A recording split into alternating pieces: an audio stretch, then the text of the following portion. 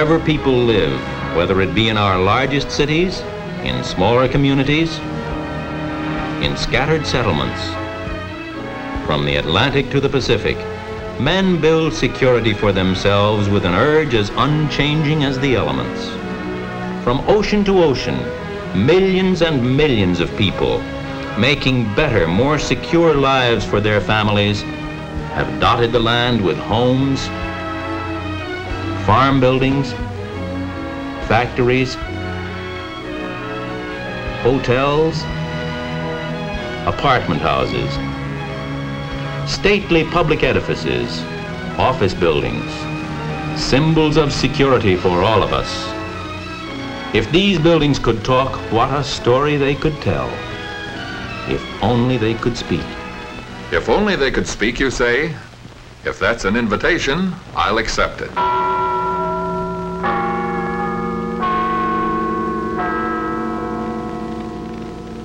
I speak for the Metropolitan Life Insurance Company. It's our job to help take some of the worry out of life for our family of policyholders, all working together through the Metropolitan for greater security, for better health, for longer life and happiness. Through the years, I have grown a lot. Have had to grow to keep up with our growing family of policyholders and give them the service they need and want. But I wasn't always this size.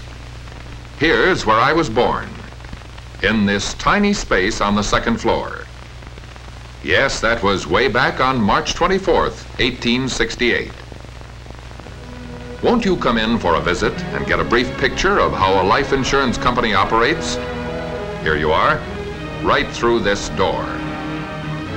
First, Let's stop in to see the man who has been serving metropolitan policyholders longer than anyone else 60 odd years. He started as a mail boy and worked up to become president and then chairman of the board. Frederick H. Ecker. How do you do? I hope you'll enjoy your visit with us. We want to give you an inside understanding of this business of providing protection for people. It's an interesting business that not only benefits our policyholders and their families, but also helps the community and the nation in a wide variety of ways. Serving 32 million in the United States and Canada is quite an undertaking and carries with it a great responsibility. We welcome showing you how that responsibility is being met. The place is yours. And here's our president, Leroy A. Lincoln. You're going to see how a life insurance company operates. You know, we literally print tons of information every year, giving people facts about how this business is operated, because we want them to know. Of course, our complete reports to the state insurance departments and the supervisory officials of Canada are open to the public. But in addition, we use annual reports booklets, leaflets, magazines, and radio advertising, and the word of mouth of our field representatives to explain our business. But you're going to see it. And since all of you probably own your own insurance policies, it's very much your business. So I think you'll be specially interested in seeing how it works. I think you're right, sir. We're on our way. From these three nerve centers, the home office in New York, the head office in San Francisco, and the head office in Ottawa, 43,000 employees and fieldmen are serving metropolitan policyholders who number one in every five citizens of the United States and Canada. The great and the small, from all walks of life, every profession, every occupation. Congressmen, governors, famous athletes, lawyers, thousands of them, 40,000 stevedores, 80,000 bricklayers, a quarter of a million teachers, 115,000 plumbers, 65,000 doctors, 175,000 barbers, a third of a million policyholders named Smith, 16,000 John Smiths, millions of children, homemakers, and millions of others. How, you wonder, can we keep up with a family the size of ours without a lot of confusion? Simple. Of course, each field man knows the facts about his policyholders. Then, in Metropolitan's home office, there are something like 10 miles of filing cabinets.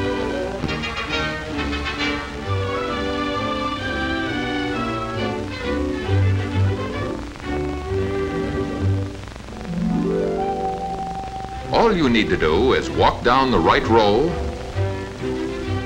stop at the right file, pull out the right drawer, lift out the right folder, and presto, there it is right at your fingertips. The right number, but not just a cold number in a cold file. These are the life stories of real people packed with drama, sorrows, happiness. This folder, for instance, portrays almost 50 years in the lives of a man and his wife who are today enjoying their well-earned retirement. Not a care in the world except, of course, for each other. And oh yes, a flock of grandchildren. And yet another folder. This time it's a widow, mother of two children who regularly receives a check. Because a thoughtful husband and a metropolitan agent arranged a life insurance program which provided wife and children with a steady income. And here's another file. Another folder. A modest endowment payment to a working man's family. This will help provide their boy with the technical training his parents planned with the aid of the company when he was just a toddler. Let's try one more folder and one more member of the Metropolitan family who has Metropolitan Accident and Health Insurance. Here are the Mortons, and here's Bill Turner, their Metropolitan agent. You're both looking well. Thank you. Feeling pretty good except for this. I was sorry to hear about your foot. Oh, I think it'll be all right in another week or so. Swelling's gone down pretty well. I think I'll be able to get my shoe on. Well, here's something I know you've been waiting for. Oh, thanks a lot for the check, Bill. It's nice having you here, even when you're not bringing us something or other. You know, George and I have often wondered how in the world you can give all of your policyholders the same kind of attention that you give us. But you must have hundreds of other families to see, haven't you? I have about 350 families in my debit. That's what we call the group of families assigned to one agent. This part of town is my particular debit. And it's up to me to see that each policyholder in this area gets the same service as though he lived close enough to hear the chimes of the Metropolitan Tower in New York. Does every agent have a debit the same size as the one you cover? No. You see, Metropolitan doesn't assign to any agent more policyholder families than he can take care of properly. So, in a big city... Where people live close together, a debit covers even a smaller area than Bill Turner has to look after. It may be just a few city blocks, while in rural areas, with families farther apart, a debit may cover several square miles. Altogether, Metropolitan has the United States and Canada divided into about 17,000 debits. And that means 17,000 agents to take care of those debits. Usually about 20 to 25 debits in one particular area are attached to what is called a district office. There are about 800 districts in the United States and Canada. In the city of St. Louis, for example, there are 11 regular districts, each a service center for the policyholders in its particular area. Each district office is headed by a manager, who is assisted on the average by three assistant managers and a clerical staff, all of whom work with the agents and the home and head office people in rendering necessary services to policyholders. From about 40 to 80 districts in a particular state or group of states make up an agency territory. The United States and Canada are divided into 14 such territories, each directed by a superintendent of agencies who makes his headquarters in the home office or one of the head offices. An important responsibility of each superintendent of agencies is to see that policyholders in his territory get competent service. Well, you certainly are organized to give good service. Do you call on all your policyholders once a month, just as you do on us? Well, there are many homes where I call every month or every week because these families find it easier to pay their premiums at short intervals. It all depends on the service that's required. And this way, all of us agents get well acquainted with our policyholders. We know their circumstances and can give them the kind of individual service that best suits each family. Bill, I sometimes think you know more about me and my family than I do. I guess that's why you're able to help us so much. Well, oh, thank you. That's the best compliment you could pay me. The company's always figuring new ways to give more benefits to policyholders. You see, one reason for this efficient service is the type of men who represent the company in the field. Carefully selected, intensively trained, the Metropolitan agent is a career man in his chosen profession. More than 4,500 field men have been with the company 20 years or longer, for a total of over 100,000 years.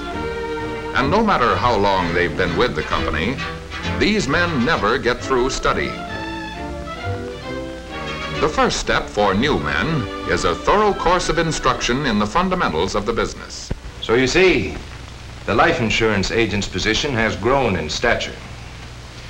One of your important responsibilities is to plan insurance to fit people's individual needs for security.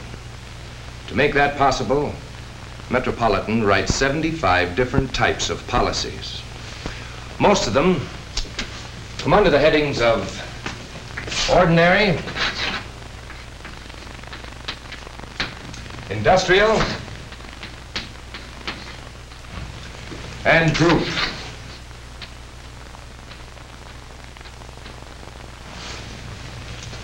These circles show roughly about how much of each is in force. Then in addition, the company writes accident and health insurance. This is the kind that protects against loss of income due to sickness or injury. Who'll give us a definition of industrial insurance? Okay, Tom? Well, one thing about industrial insurance is that it's sold in small amounts, under $1,000. It's intended for wage earners or others who want small policies with premiums payable at short intervals, weekly or monthly, and who usually find it more convenient to have an agent call at the home to receive premiums. Right. As little as five cents a week will buy an industrial policy. But the average weekly premium industrial policy calls for a premium of 25 or 30 cents a week. Now, Roy, can you tell us what are the main characteristics of ordinary insurance? Well, basically, it's the same idea as industrial insurance.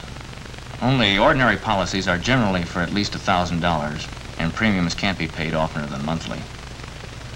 In fact, on most ordinary policies, the premiums are paid annually, semi-annually, or quarterly. Correct. And while Metropolitan issues ordinary policies as large as $350,000, the average policy is about $1,700. Now, Let's define group insurance. All right, Sam. Group insurance is bought by employers for the benefit of their employees, both usually sharing in the cost. It offers different kinds of protection, including life, accident and health, surgical and hospitalization benefits, and retirement income. The employer handles many of the clerical details and sends the group premium in a lump sum to the insurance company. And this helps make group insurance low-cost insurance. Can you add anything to that, Fred? Well, there's one thing. In the case of the Metropolitan, there must be at least 50 insured employees in a group. And at least 75% of all employees in a plant or concern must apply for the insurance. Some concerns have thousands, even hundreds of thousands of employees protected under Metropolitan Group programs. There's no medical examination. That makes it possible for... Then, too, don't forget that although the agent must know the life insurance business from A to Z, he does more than just look after the insurance needs of policyholders. He also puts the company's many services to work where they're needed and available. Take our nursing service, for instance. I'll never forget that nursing service Tommy received. When Tommy came down with pneumonia, the doctor said the Metropolitan nurse helped him save Tommy's life.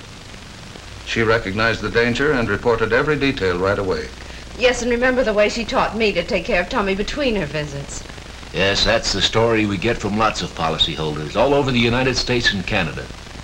Why, you'll find metropolitan nurses in over 7,700 cities and towns. Who gets that service? Everybody? No, it's chiefly for those who carry Metropolitan's industrial or group insurance. Nurses visit them when they're sick at home under a doctor's care. And you know, those nurses make nearly two million visits a year. It's a wonderful service, all right. And those health booklets you've been leaving with us ever since we took out our first policy. They're a gold mine of information. Those metropolitan booklets on the heart and on overweight, they're really excellent. Oh, yes, I remember now. you got those when you were a little worried about George here. Regarding those booklets, The Health and Welfare Division, with its staff of health and safety specialists, is constantly at work preparing authoritative and up-to-date health information for policyholders. For a third of a century now, the company has been distributing health and safety booklets at the rate of one every second. That's more than 30 million a year. The company also publishes similar information through magazine advertisements, which have a total circulation of about 375 million copies per year. The policyholders benefit by such efforts to prevent disease and extend length of life. For the decrease in mortality affects the cost of insurance. Premium and dividend rates on life insurance policies both reflect death rates. The story of how premiums are determined goes to the very heart of the life insurance business. Premium calculations are made by actuaries, men skilled in the science of life insurance mathematics. These engineers of the insurance business figure out what the policyholders must pay to cover the cost of the benefits provided in their policies. With the help of records kept over many years, they can tell you very closely not who will die this year, but how many. The premium a policyholder pays is based primarily on the normal death rates for the insured group to which he belongs. For example, suppose we start with 1,000 youngsters at the age of 10 and follow them down the years. Life may begin at 40 for some of them, but it will have ended for 91. At the age of 60, 303 will be missing. So, over the years, while fewer and fewer premiums come in, more and more money must be paid out. If premiums for each year were based solely on the death rate in that year, they would grow larger and larger as the policyholder grows older. Then who could afford these large premiums in the later years? The way to protect you against that heavy load during the later years is to even out the premiums. In this way, during the early years, they amount to more than is necessary to meet death claims. And in later years, when the death rate is high, less than is necessary. Because only a portion of the early premiums is needed for death claims, it is possible to build up a fund to take care of the deficiency of premiums in later years. This fund is invested throughout the country to earn interest. In fact, for each dollar the company receives from policyholders in premiums, the company's investments bring in about 22 cents. You can see how this interest on the company's investments reduces the premiums of policyholders right across the years. Now we have seen two of the things actuaries have to think about in estimating the cost of life insurance. The first is the death rate, and the second is the interest rate. The third item affecting premium rates is expense, including taxes, the cost of doing business. Naturally, that cost varies. For example, it's a lot more work to make weekly collections than to receive a check from a policyholder who mails his premium direct to the company once each year. Then, of course, there's rent and the expense of paper, printing, and all the other necessary items for servicing policyholders. And uh, that's the way the actuaries work out your premium payment. Yes, Bill, but suppose the company collects more in premiums than it needs. What becomes of the money left over? Well, everything is figured conservatively. And uh, there's a safety margin for things like that awful influenza epidemic back in 1919. Just as a result of that, Metropolitan paid on industrial policies alone over 100,000 death claims. I remember. It was terrible. Then if it turns out that your insurance protection costs less than the actuaries allowed for, the savings go back to the policyholders in dividends. So that means we get our insurance protection at cost? Absolutely. The actual cost of providing it. Say, that's all right. But tell me, this money that the company is holding in reserve, how is that invested? We have a large staff of investment men, each an expert in his own field. The company gets maximum safety for your funds by spreading investments in many different fields. Sort of like putting lots of eggs in lots of baskets. Do you know that we have tens of thousands of investments spread over the United States and Canada? You'd be interested in knowing that some of the reserve on your policies may come right back to your own community. As one of our ads says, money coming home to boost. I don't quite understand. Well, Mrs. Morton, we invest millions in city real estate mortgages. It happens that right here in our own community are homes, stores, office buildings that life insurance dollars help to build. Money that comes home to make our community a better place to live in. Still other insurance dollars are sent out to work on farms, invested in farm mortgages, helping some farmer to raise better crops, buy a new combine maybe, or help fix up his barns. Life insurance dollars are at work in industrial, utility, and transportation bonds. They help keep factories humming and men on jobs.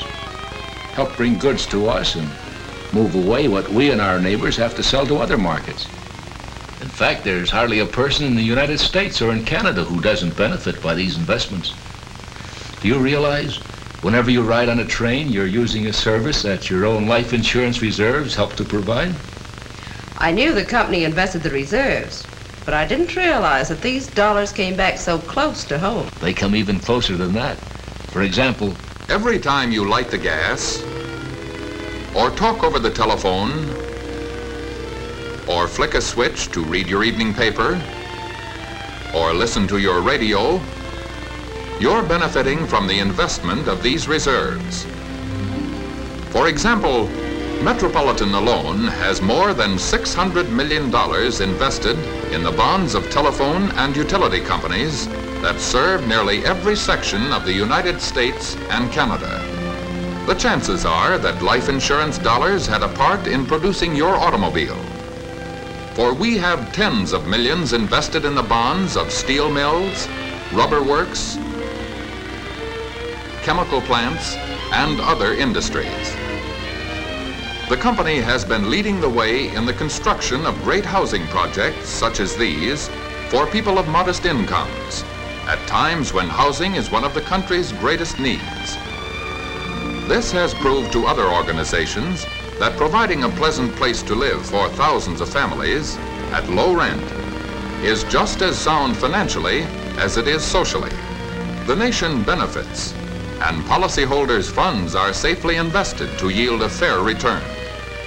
Life insurance played an important part in helping to win the war.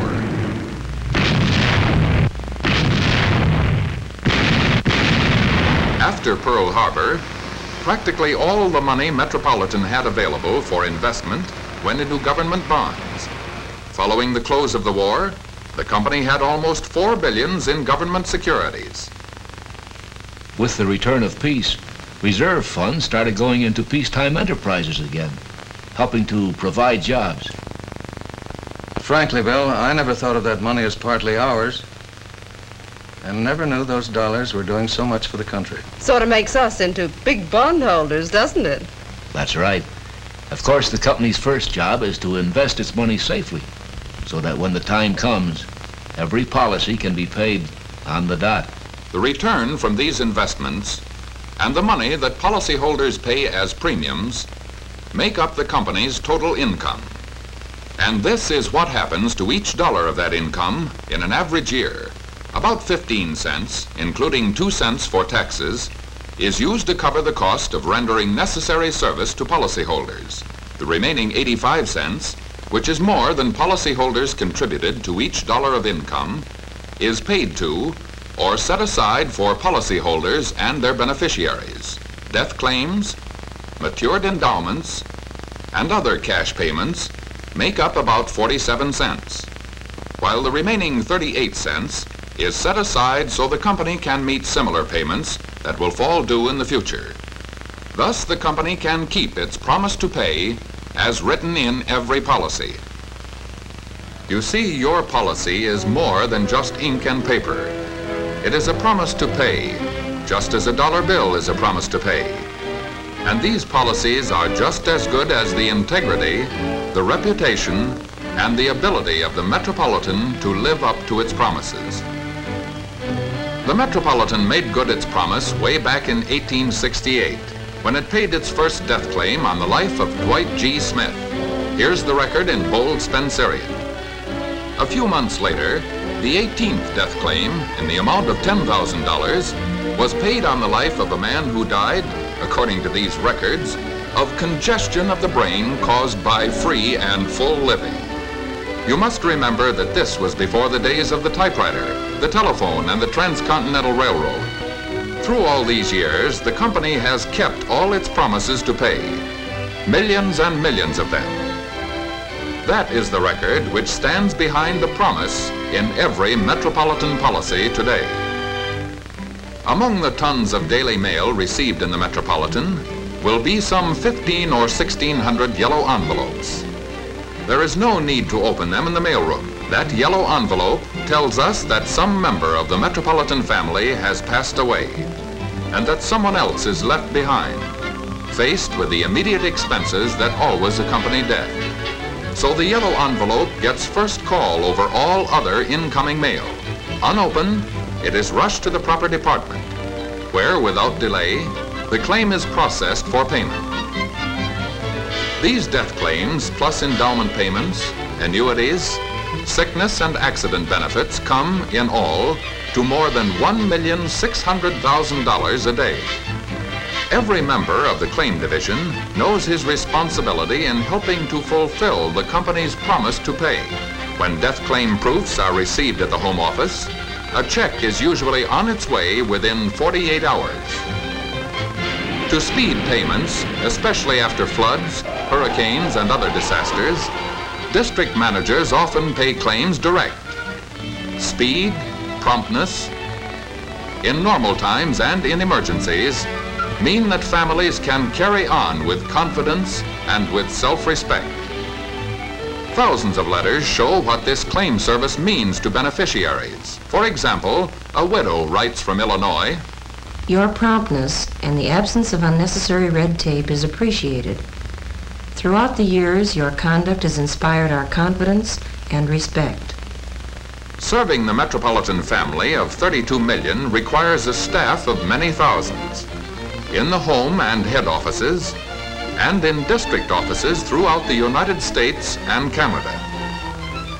Metropolitan has always been mindful, even in the old days, of the health and well-being of its employees.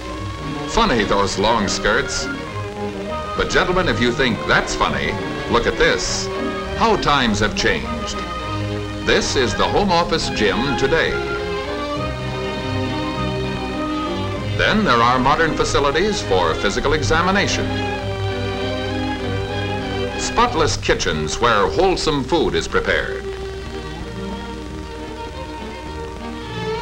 A modern library.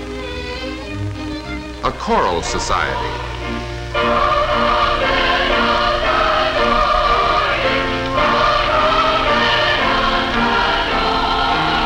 A glee club.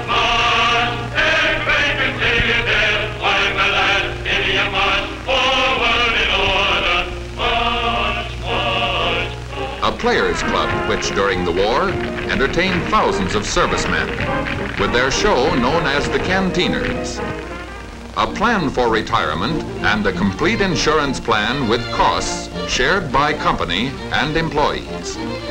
Metropolitan practices what it preaches about insurance protection.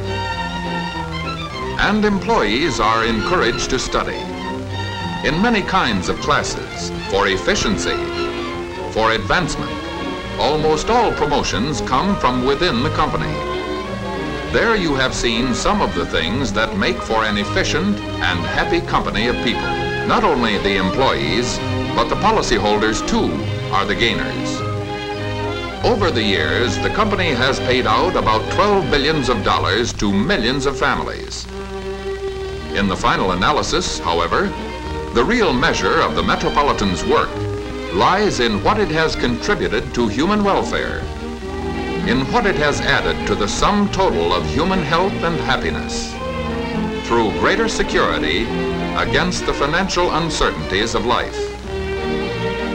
To appreciate this, we must think of the millions of families kept together and saved from want and suffering.